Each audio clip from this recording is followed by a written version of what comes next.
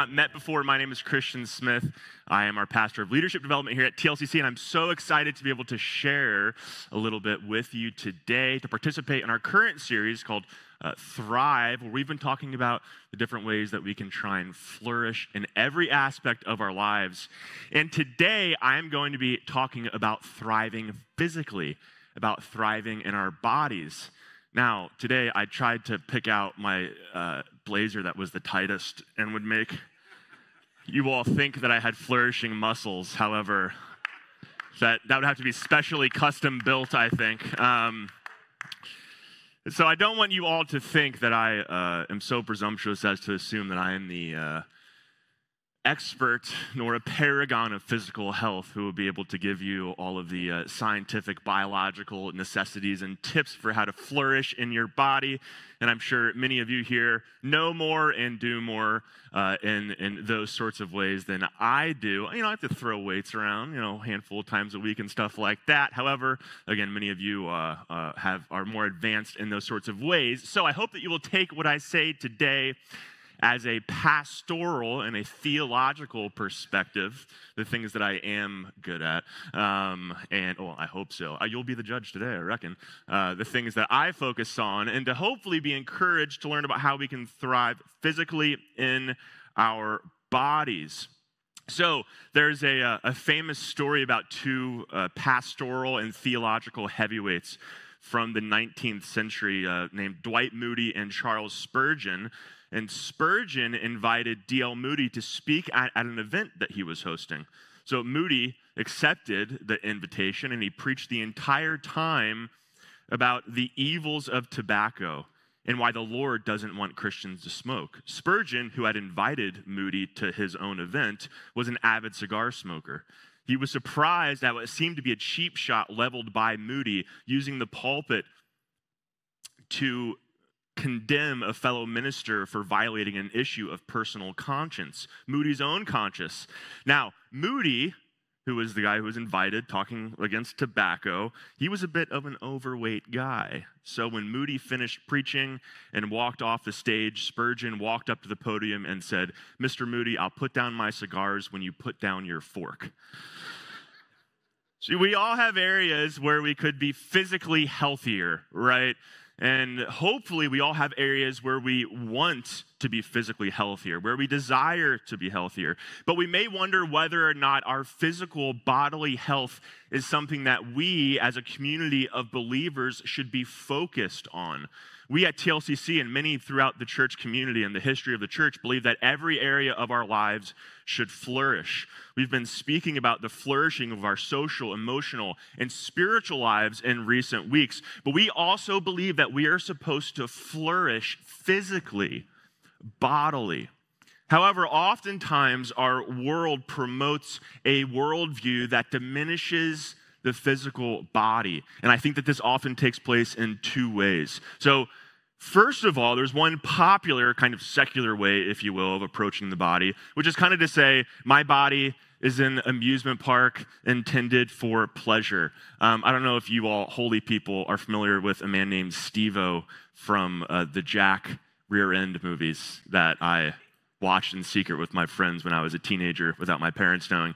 We'd all go and do crazy physical activities, risking bodily harm, possibly death, uh, what looks like upon you know, like on a daily uh, uh, routine and schedule.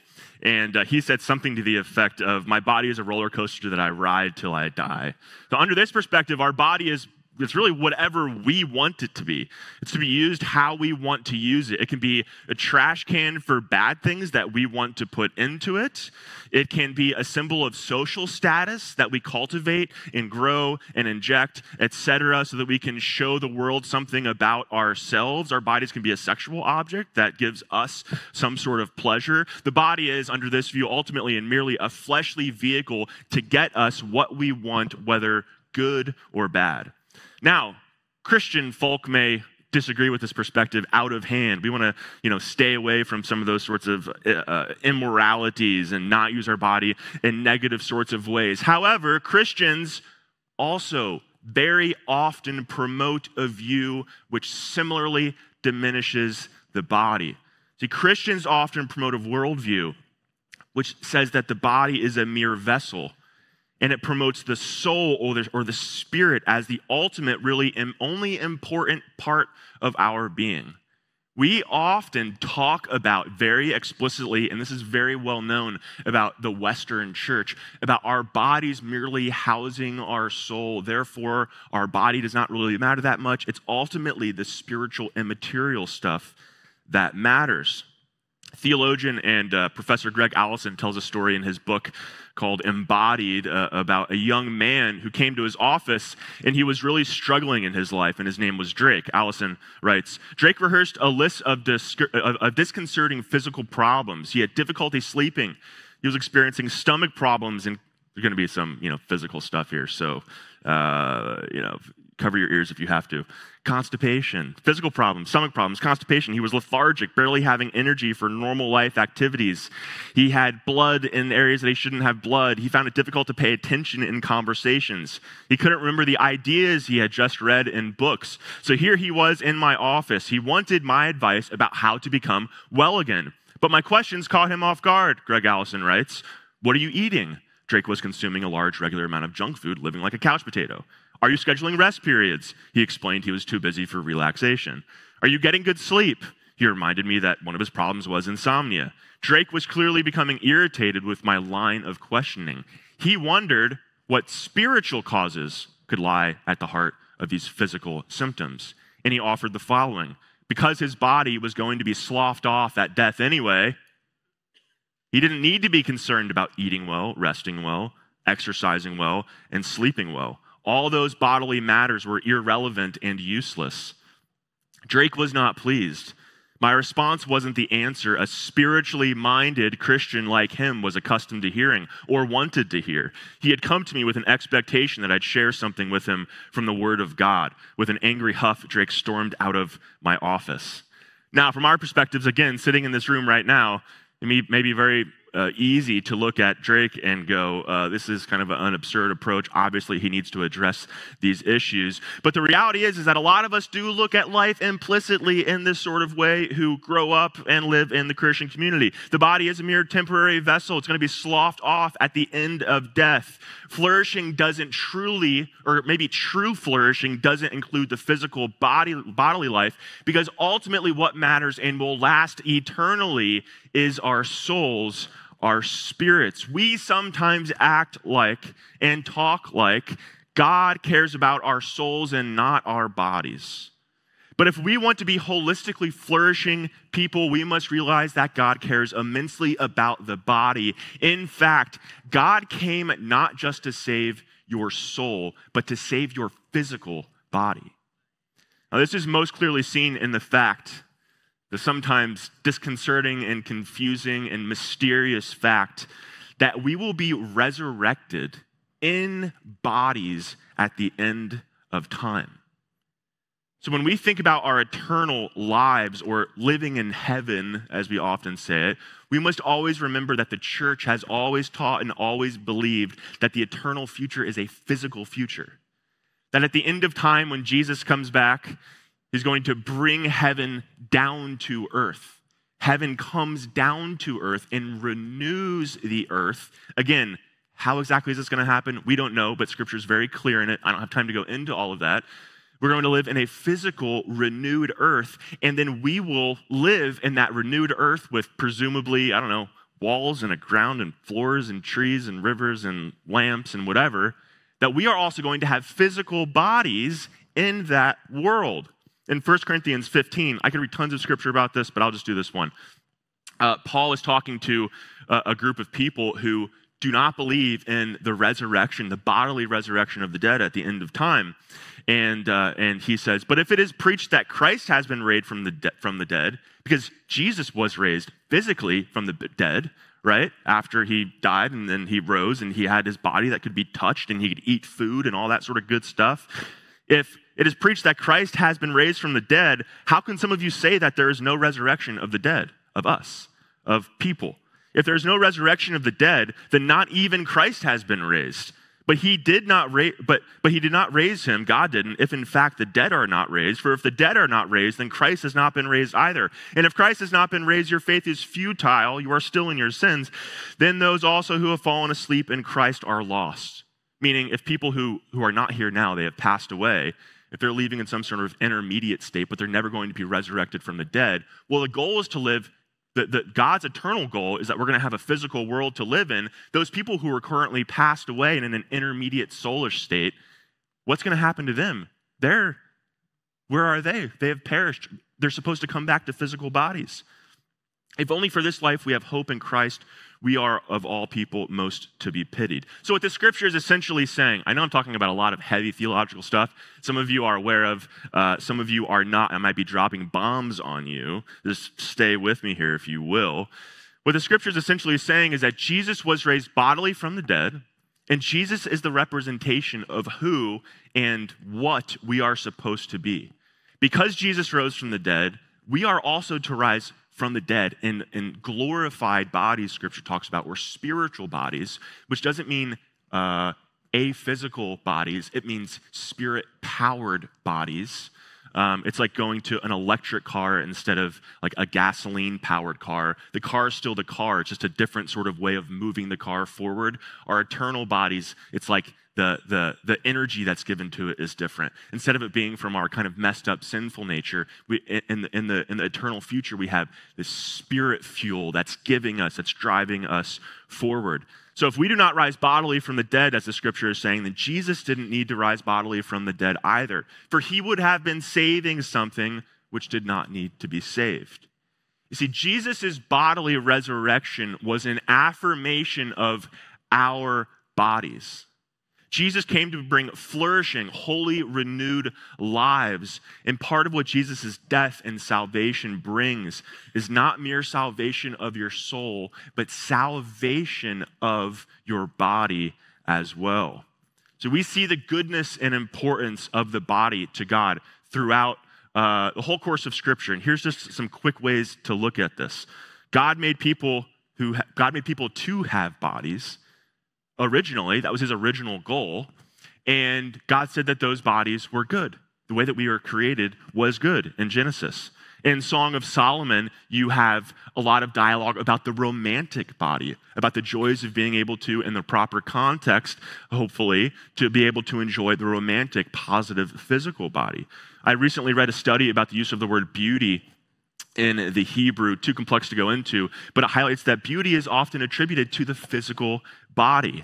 In Psalm 139, we see this famous passage For you created my inmost being. You knit me together in my mother's womb. I praise you because I am fearfully and wonderfully made. Your works are wonderful. I know that full well. My frame, which I've seen other translations in a fun way uh, uh, uh, translate that as my skeleton. It's talking about how our, our bodies are knit together. Our persons, our whole persons are knit together. My frame was not hidden from you when I was made in the secret place, when I was woven together in the depths of the earth. Your body is good.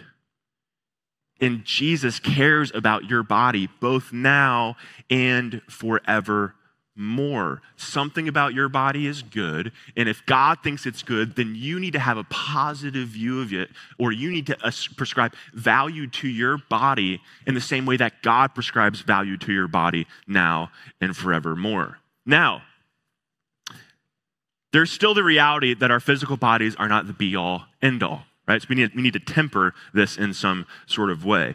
Some of us may need to think about getting a little bit healthier, right? But some of us may need to spend less time focusing on our bodies especially in our world today that promotes a certain sort of vision of the body and that if you attain that sort of body then you know then then you have achieved some sort of success in your life. So we need to be careful about this. There's a famous verse paul writing to uh, timothy. He says for while bodily training is of some value godliness is of value in every way as it holds promise for the present life and for the life to come. We cannot focus so much on our bodies that we forget about things like character formation, practicing the spiritual disciplines. You know, if you have 30 minutes tomorrow in the morning to pick between, you know, lifting weights and praying, I would probably encourage you to spend time praying, right? Maybe you can go on a walk and pray at the same time. That could be good. Right? But but having conversation with God, this is more important. But what does the scripture say too? Bodily training is of some value which is really interesting. You don't hear about that kind of stuff in the church all that often. That's God speaking to us through Scripture, saying, guess what? You need to care about your body because your body is important to my plan for your life and my plan for the world as well. Okay, so hopefully, everyone tracking with me? Everyone all right? Okay, hopefully you all believe me that the body is important by this point. But I want to ask the question of why is the body important? What is it about the body that makes it something of value to God? And I'll just talk about a, couple of ways that we can view, that we can view this. First of all, our bodies are integral to every single part of our engagement with the world and God. So, sometimes I think that we think we engage in physical activities and aphysical, non physical activities. We kind of split activities into different parts of our mind. So physical activity is something like, you know, you're running, walking, lifting weights, playing a sport, stretching, whatever it might be. And then there are there are non-physical, aphysical activities like maybe strategizing, you're thinking at work, you're reading and learning, you're listening to a podcast. It's not necessarily a physical activity. And then the really really important activities like praying, reading scripture, singing songs of worship to God, these are like the peak most important activities that we can do. And they are, above all, spiritual activities that are not about the body. It's like, I, I think oftentimes when we conceive of prayer, for instance, it's like we're we're sitting there with our eyes closed in a dark room and we're like our soul is directly i don't know why our soul is there but doesn't it feel that way our soul right here this amorphous blob orb is like directly touching god's spirit and we're having a spirit to spirit, which is a phrase that we use in our society, right? We're having like a spirit to spirit, like touching with God and communication with God. So, if you are struggling in like the most important parts of your life, in your prayer life, then you may think that you are spiritually, soulishly off. But let me tell you that if you wake up at 6:30 a.m. tomorrow and you're sitting down to spend 30 minutes in prayer and you're having a lot of trouble focusing with uh, uh, your mind on God and having conversation with God and, and forming coherent thoughts with God. It may not be that you have something off with your soul, it may be the greasy sausage pizza you ate last night that prevented you from having a good sleep. When you are praying, you are not engaging in an aphysical, immaterial activity. You pray through and with your body. Your soul communicates through and with your body. When you're reading scripture, if you didn't get much sleep the night before, you may not digest any of the scripture that you are reading. You know, sometimes when your eyes just gloss over a page and it's like, what did I just read for these last, last five pages? Now I have to go back. That happens to me, right? And, and, it's like, man, I'm just like off. Like, I don't know what's going on exactly. And we think there might be a soul issue. But in reality, you might just not be rested enough. You might have, you know, been on your phone too much the night before and had too much blue light too late in the night. Your circadian rhythms are off, and you woke up and you felt bad, and your, your, your cognition was just completely off. There is this interconnectedness going on in the different aspects of our life. If you're not enjoying church today, if you think I'm a bad communicator, might be because you're on TikTok too much and your dopamine is, you know, messed up. So it's not me, it's you, is what I'm what I'm trying to say. No, I'm just kidding. Prayer, reading scripture, loving people. These are not soulish activities. They are, but they are not soulish activities alone, but these are embodied activities. Everything we do is with and through our bodies. We are bodies. We are not souls that have bodies. Very important. We are not souls that have bodies. We are embodied souls.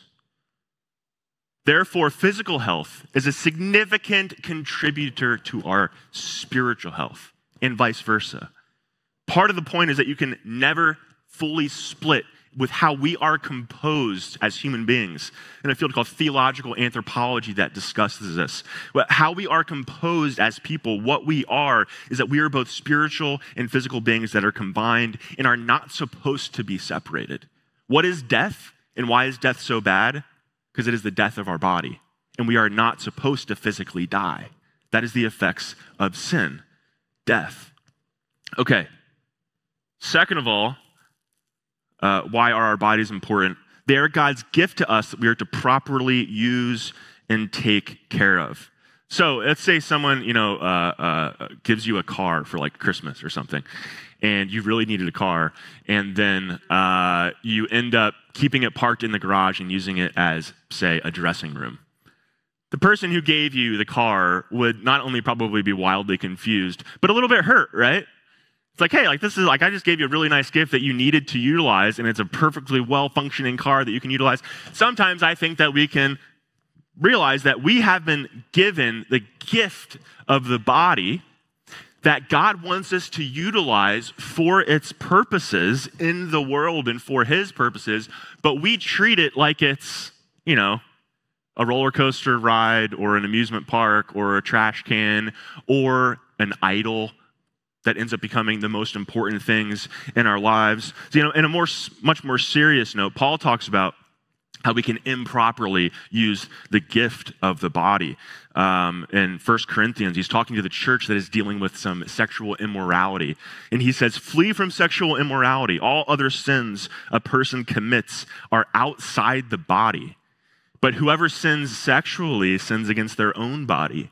Do you not know that your bodies are temples of the Holy Spirit who is in you, whom you have received from God? You are not your own. You were bought at a price. Therefore, honor God with your bodies.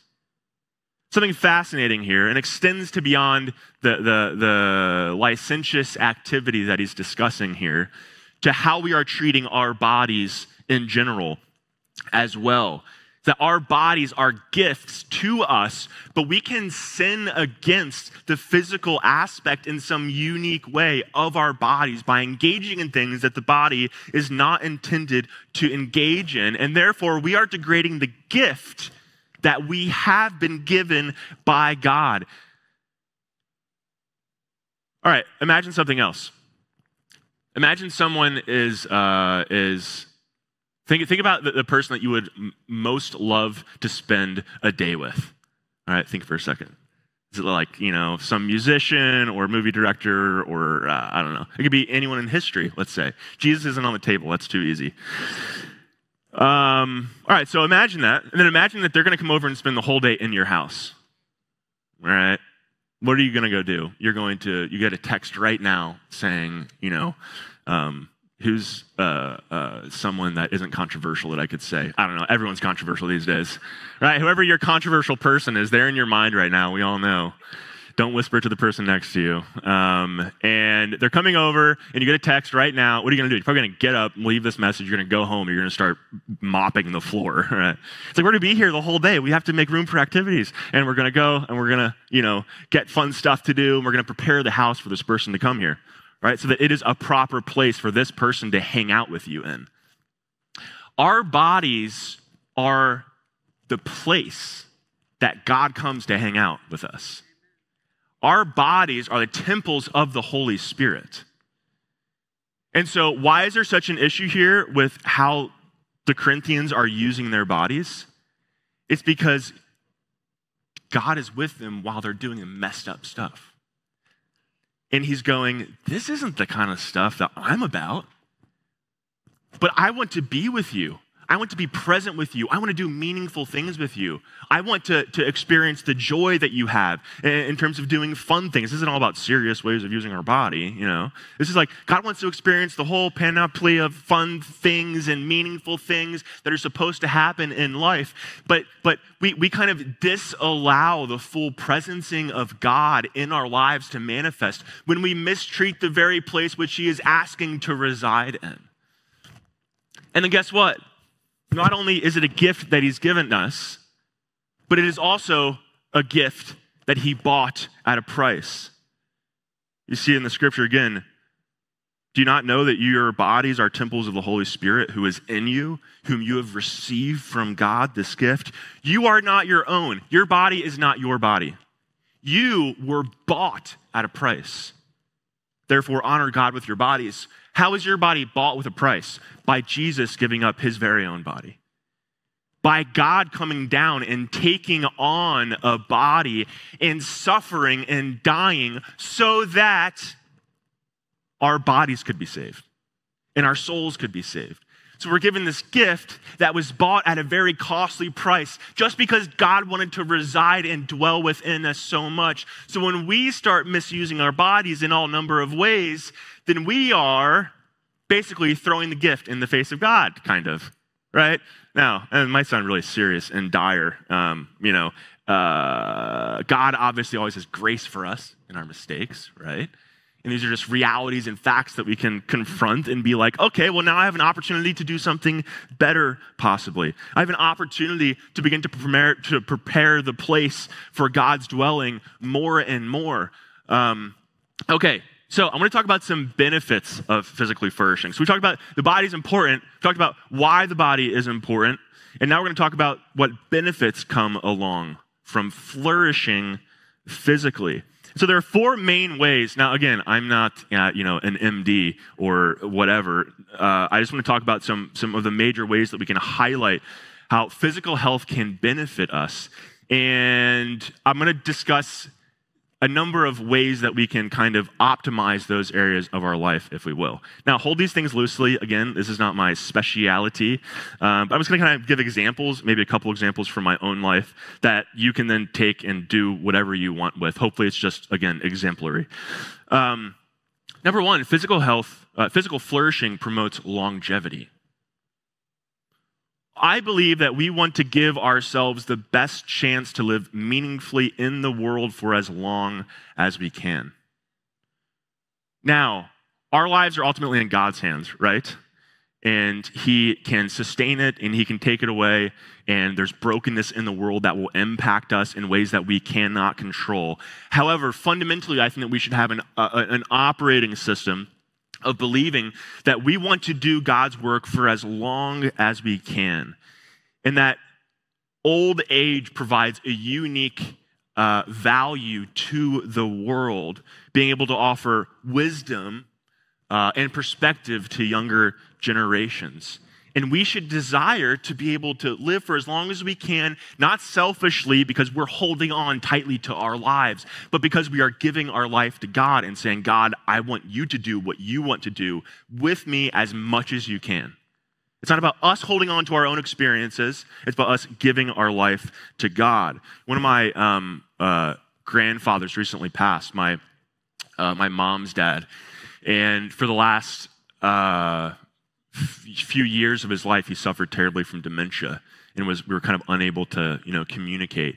And I so badly wanted to be able, and still do, to be able to have those conversations with him about what's going on in my life and what I'm thinking about and what I'm studying in school and what I'm doing in church.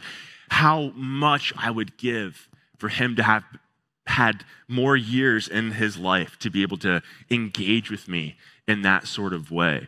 And seeing that, though, you know, I'm uh, young and relatively, relatively young, and you know, don't have all of the um, experiences of, of middle life and later life to know what all this will shape up to, to look like. But just watching um, that decline, I, I know how much he had to offer to, to, to me into the world. And I so badly wished that that was still present. And it, it inspired me to want to be able to think more about, you know, perhaps there are genetic concerns that lead towards a proclivity of one developing these sorts of issues in one's life.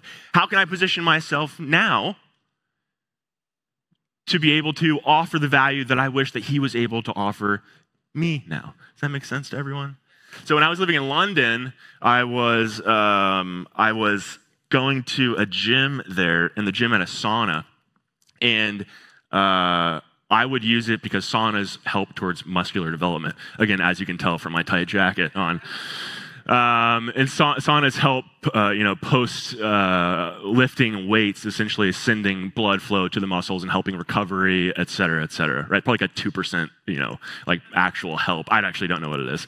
Um, but one of the things is that sauna, consistent sauna use, you know, a certain amount of time over the course of a week and, all, you know, certain temperatures, all that sort of stuff, uh, in certain cases can basically have the possibility uh, of having a cardiac related event someone might check me on all this. Yeah, hear the spirit of what I'm saying. Can have the possibility of a cardiac event. And so I'm like 30 years old. I'm not really worried about having a cardiac event, like a heart attack or something, right? But if I don't start caring about it now, when am I going to start caring about it? So I started sitting in the sauna every day and, and, and trying to pre- prepare myself to have longevity so that God can do what He wants to do with my body. We see the importance of, of, of living a long life on this earth, about how that can be a blessing to us. We see that in Proverbs 16 and elsewhere. So I'd like to encourage us to think about how you can position yourself right now to be the healthiest person, to be able to contribute value for as long as you can to God's purposes for the world. I feel, feel like sometimes in Christianity, we're afraid to talk about long life because, you know, it, it, it's all about the eternal life. God has purposes for you now. Let Him maximize you. Physical flourishing promotes cognitive health. We want our minds to be fit so we can do the work that God has given us to do we see in Romans 12, don't conform to the pattern of this world, but be transformed by the renewing of your mind. Then you will be able to test and approve what God's will is, his good, pleasing, and perfect will. Now, I'm just hydrating, physical flourishing. I'm uh, trying to show you what it looks like right now. Um, now, we may think of like renewal of the mind being a spiritual process. We're going to like read scripture, pray, the stuff that we talked about. But there's also cognitive, like mental processing implications within the text. A lot of our capacity to judge what is good and pleasing and perfect has to do with our brains just functioning well, our physical brains functioning well. To learn well, to be good thinkers, we can optimize our physical brain makeup to allow ourselves, free ourselves to be mentally renewed. I started doing this. Uh, these are all the popular things out there right now. But I was thinking about this because I was in London doing my PhD, and I'm literally just sitting looking at a book all day. And I'm like, I wonder if I'm like doing all the things that I can to do this in the most optimal way to take advantage of the opportunity. And I really wasn't doing anything that someone should do. So I started doing things like taking cold showers every day. Oh, which can like 2.5x the amount of dopamine that you have running in your body, which is like your your like like a hormone and a, a neurotransmitter that basically is it's a bunch of things. Again, the spirit of it all, right? Um, but but it's it's it's the thing that that that motivates you, the hormone that motivates you. It's it's like your will to do something. So if you wake up and you're like, I don't want to do anything today, just take a cold shower. You'll be the most productive person ever. Just kidding. That's not true. But it was just like, what are the little things that I can do so that I can take advantage of the gift that God has given me my body to do the most that I can with this thing that He's given me? Light in the morning, so important in terms of regulating your circadian rhythms, leading to better sleep, hormone health, less stress. Uh, lifting weights, actually, it's not just some aesthetic thing. It, help, it leads towards mental clarity, longevity in many different ways, mental processing capacities. Um, third of all, physical flourishing promotes emotional mental health. We want our emotional lives to match up with God's emotional life. And we've talked about this in, in previous weeks. And there are tons of things physically. Sometimes our, our emotional issues are not just spiritual, quote unquote, issues. Sometimes they might be. Sometimes you might be really off with God and struggling from uh, uh, uh, certain things that are going on in your relationship with God. But sometimes you might have, right, serotonin issues that are going on in your life and and and you know you, you have mood issues that are going on. I wasn't particularly maybe struggling with this but i was like i want to start trying to optimize this stuff in my life. So i started taking a regimen of supplements that are some of the most proven studied supplements uh, uh, to help be uh, uh, mood stabilizing and boosting. Just because why not right i have this gift it's like you're putting all the mods on the car you know you have and you're adding all the special stuff to it to make it what you want it to be. Like we have an opportunity to try and make our bodies as best as we can and to maybe uh, uh, help things that are keeping us from engaging with God and the things that He's trying to do through you in this world. And then finally, uh, physical flourishing promotes spiritual health. to kind of bring it all back around. When we ask God to help us physically, when we go to Him and say, God, your Holy Spirit's within me, can your Holy Spirit help me to become physically healthier? We are also becoming spiritually healthier people. We are potentially unblocking blocked passageways in our body towards experiencing what God has for you. Physical fitness, in some sort of weird way, can help towards godliness.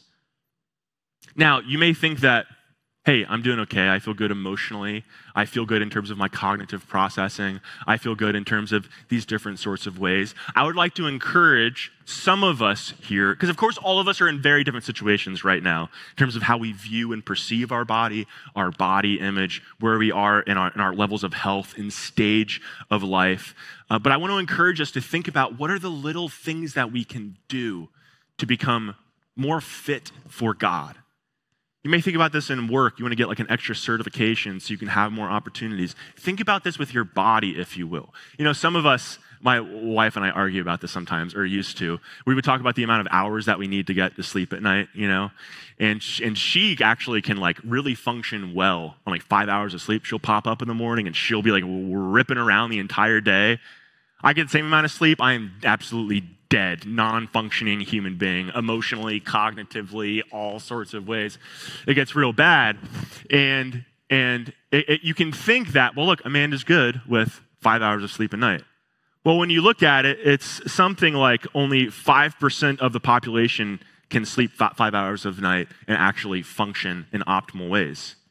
So the likelihood that uh, you are functioning well by getting five hours of sleep is very low right? You may still function high with five hours of sleep, but you could function, imagine how well you could function consistently getting more sleep at night, right? So I would like you to think about this as kind of tweaking and, how can I do more? How can I do more for God? How can I give more of my body to God? Okay, so what are things that we can do to, to, to, to be better? We're doing a TLCC week of wellness this week. And we have three things that we would like to ask and consider you to do. Some of these things you may already do, and you're a pro at all of this stuff. And some of you may not be doing any of these things, and I, would like to, to, encourage you to consider these. Uh, so, first of all, one that we're going to encourage you to do is to refrain from screen time one hour before bed and for one hour after waking up. Terribly difficult. And to get 20 minutes of sunlight in the morning to go outside. I know it's really cold, but just, just try it this week. Just see how it goes and try to do it in a rhythm. Go outside. Don't just do it through a window because the window kind of actually halves the effect in most cases of sunlight coming through. And don't look directly at the sun. Let's be intelligent people in the room. But just get that sunlight. Okay, add 30 minutes of physical activity to your daily routine. Maybe you work out, maybe you lift weights, or maybe you run. Add just add 30 minutes of, of doing something. Again, taking the spirit all of this. We all have our unique circumstances. And then a kind of a wild card, but to show the breadth of how important the physical life is, is that I encourage you this week to physically posture yourself during your prayer time in a different way. How we engage with God physically in those sorts of moments matters. So I encourage you, if you normally just pray just like sitting down, I believe that it could be a unique opportunity for you to maybe pray uh, kneeling down or pray with your hands up and see how your physical body impacts your relationship with God in that sort of way as well. Okay. Everyone excited for that? Stoked? You gonna do something this week? All right. So, in closing, I want to tell you a story that struck me recently. It's about um, a woman named Jade Reynolds who suffered from an incredibly rare, rare autoimmune uh, condition. And as she says, within minutes on 13th on the 13th of May 2003, I went from being a healthy 12-year-old girl to being unable to walk or feel much from the waist down. And I've been in a wheelchair ever since. Over the last 20 years, I've regained much of my independence and tried to not let my disability hold me back. But from a young age, my disability gave me a unique perspective. I didn't get sucked into the image conscious mindset of many of my peers. Many of us think we attract friends by being impressive, but the reality is that deep friendship is usually accelerated through vulnerability. I needed help, so I had to turn to community, which thankfully is exactly what God made us for and something I found in the church. Many Christians seem very comfortable praising God for healing. Many Christians seem very comfortable praising God for healing, but not so keen to suffer with those who aren't healed. When we elevate God healing Paul's blindness, for example, over God leaving Paul's thorn in his flesh, we overlook that God does something powerful in both of those instances. What others perceive as a problem isn't a problem for God, she writes. He uses me despite my disability. It's a mighty declaration of his power, which is made perfect in my weakness. And Jade has gone on to become a very prominent uh, Christian on social media, helping to encourage those who are struggling with similar issues as her and reaching millions upon millions of people. And I think it's so important when we're having this conversation, whenever we're talking about the physical body, we have to remember that we live in a world that is physically broken. But having broken bodies does not mean that we cannot flourish. In fact, sometimes it is in our brokenness, in our weakness, that God helps us to flourish in ways we couldn't have imagined. When I was uh, in college, I was playing football. In my sophomore year, I, I, I had difficulty standing up straight. I had such bad back issues from a really young age. And it came to a point where I played quarterback and I, I couldn't torque. I couldn't turn my back. Even doing that kind of stuff hurts me right there. I go to a doctor eventually, and he goes, uh, If you want to pick up your kid by the time you're 30 years old, you probably need to stop playing. And people who play football through that kind of back injury are normally making millions of dollars, which I was, I guess, at that point paying like, you know, 40 grand a year to go to the school to play football. so I said, I'm probably going to stop playing football, right? And I'm left, you know, sports had been my identity for my entire life, and I was left with 40 hours a week trying to figure out how, what I was going to do with my life. And I ended up being like, well, I'm at a school that has good theology and philosophy classes and art classes, and I ended up saying, well, I'll fill 40 hours a week with starting to, you know, educate myself around these things, and ended up falling in love with it, and found you know, my life has ended up becoming about the things that my brokenness opened up the possibility for me to do. And so many of you have way worse issues than that sort of stuff, right? Um, but I just want to encourage us that when we're thinking about physical health in our, our bodies, we just give whatever we have to God, whatever it is. Now, you might be withholding yourself being healthy and being selfish with your body and not giving it over to God. You might be idolizing your body and you need to give it over to God. You might have a physical uh, a, uh, a brokenness thing, a lack of health, and you're letting that keep you from doing things with God. In all of those instances, what are we called to do? Surrender everything to God. Give it all to God. Ask the Holy Spirit to reveal to you what you're keeping from Him. Let Him take hold of all of your life, your spirit, your, soul, your body, and say, God, I give my life to you. Make of this thing what you want to make of it. Don't withhold anything from Him. All right, if you will, let's stand and sing.